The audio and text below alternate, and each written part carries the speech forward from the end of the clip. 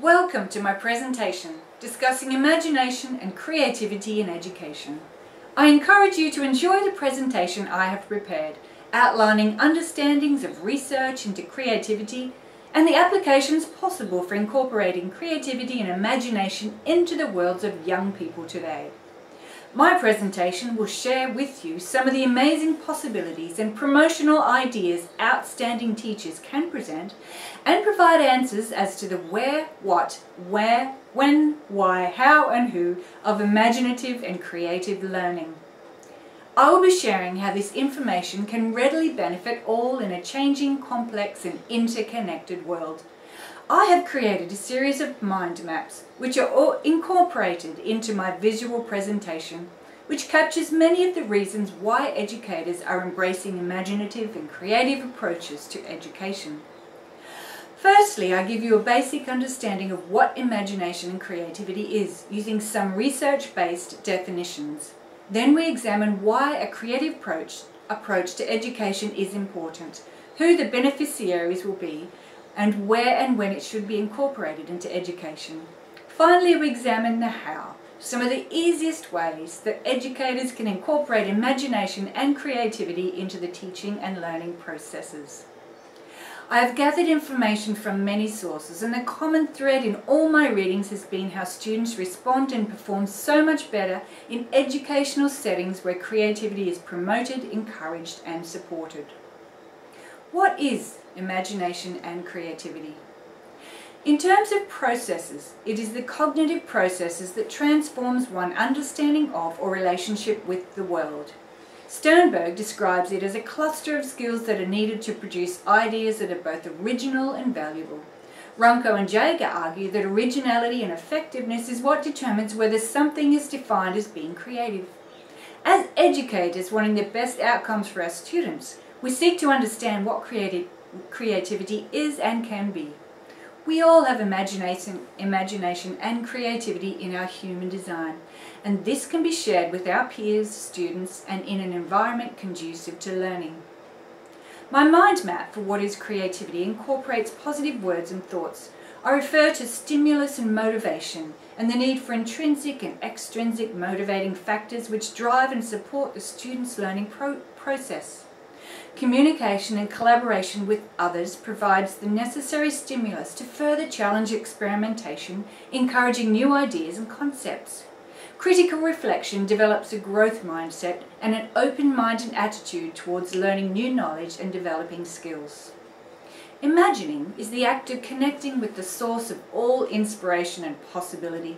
Coupled with hope, desire and the need for invention, it drives creative action producing acts and inventions which solve problems, clarify states, and release personal experiences and identities. When considering social change, it can be the catalyst which enables release from oppression as described by Greene, and the door to worlds of creative innovation. Sartre discusses the necessity for imagination in making meaning of our personal experiences. It is important in the development of our sense of self. The student who is in touch with an imaginative process can proceed from imagination to the development of creative progress projects. Imagination helps a student in grasping the universe of knowledge. Some of the power words I've linked with imagination include connection, expression, inventiveness, exploration, satisfaction and originality. Beghetto and Kaufman discuss the 4C model of creativity and argue that the two Cs originally presented by researchers must be expanded to accommodate further clarifications. Why do we need creativity in education? The postmodern age is characterised by uncertainty, rapid change, realignment of power, upheaval and chaotic behaviour. Imagination and creativity integrated with critical thinking creates self-regulated autonomous learners, students and teachers who are risk takers and are independent and flexible in their learning processes. These skills are required for successful and productive lifelong learners. Creativity is important because the world is changing at a far greater pace than it ever has before and people need constantly to cope with novel ideas of tasks and situations. Learning in this era must be lifelong and people constantly need to be thinking in new ways, as Sternberg states. Student disengagement is a factor which can hinder the teaching and learning process. To overcome this problem, the outstanding teacher will ensure that students have relevance in their learning, defining a classroom moving from delivering educational thinking that is what can be rather than what is.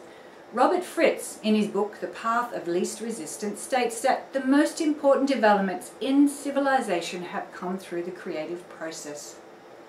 Creativity has an important place in our educational systems for our future benefit, for richer lives and positive contributions to society. Students taught to think critically and creatively can make a difference for the better by being equipped as capable, creative, innovative and enterprising citizens in their future lives. Creative learning benefits all. I agree with John Wilson, Executive Director of the National Education Association. He states that every student should be in a classroom where investigating, questioning and discovering are inherently part of the curriculum. In today's economy, these skills are essential for success and continued world leadership in the 21st century. To counter the lack of student disengagement at school, Louis states, giving teachers and students and principals a chance to apply their imaginative capacities makes all of them much more motivated to be in school. Within a school context, creative learners will be motivated and ambitious for change that leads to improvement of their world and their own capabilities to function and exist within their communities. They are confident in their own validity and ability to lead, inspire and work well with others. They can see the application of creative practices to other situations in their lives. Who? The Who. A creative student in the classroom will be curious, able to question and challenge, looking outside the norm requirements. They will see new relationships and make associations, thinking laterally and comprehending patterns not usually connected. They imagine, look at possibilities, discuss alternatives and offer new approaches to what is. They examine existing and emerging concepts and explore innovative ideas.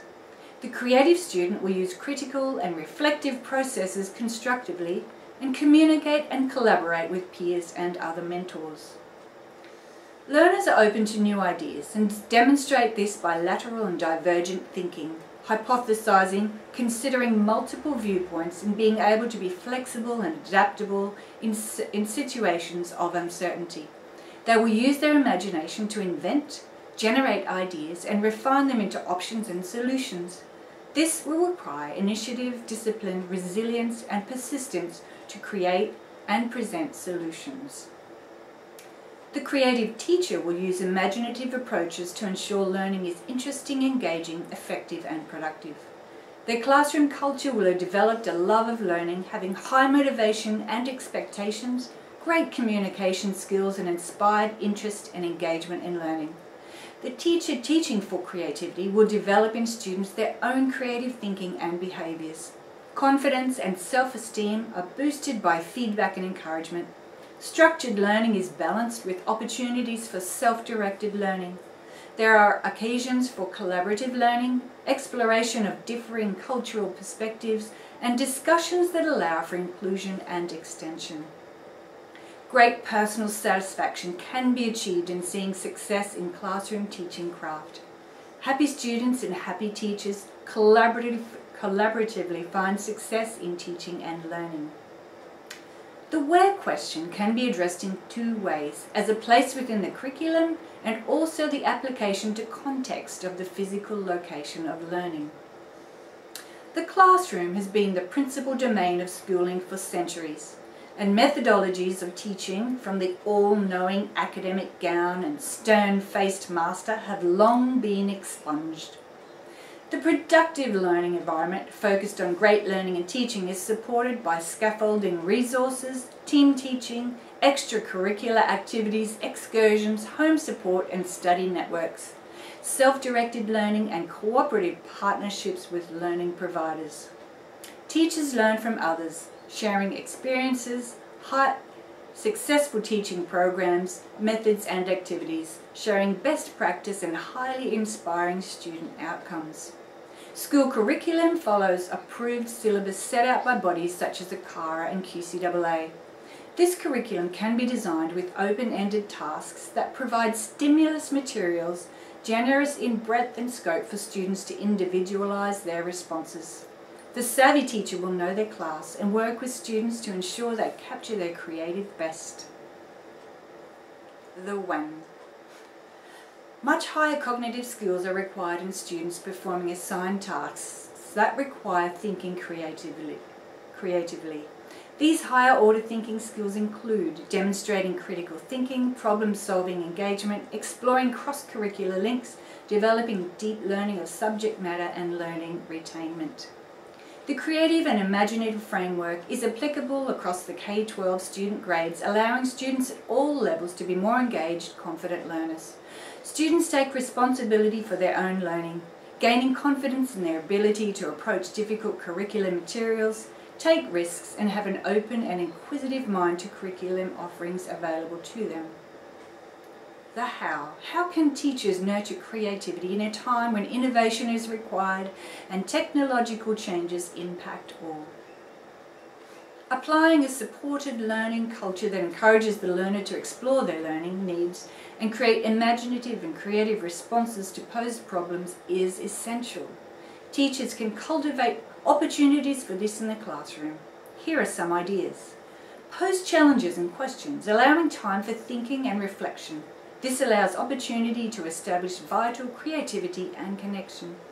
Remove the emphasis on reproducing information and focus on critical thinking and problem solving.